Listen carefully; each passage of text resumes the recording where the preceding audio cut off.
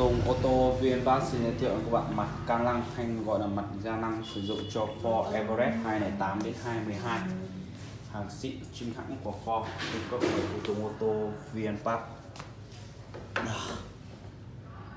đây sản phẩm, đèn sản phẩm. Đó. mặt ca lăng Everest xịn chính hãng của Ford bạn nhé, đã bao gồm đầy đủ cộng Novo logo can năng và đèn mạng can năng đầy đủ.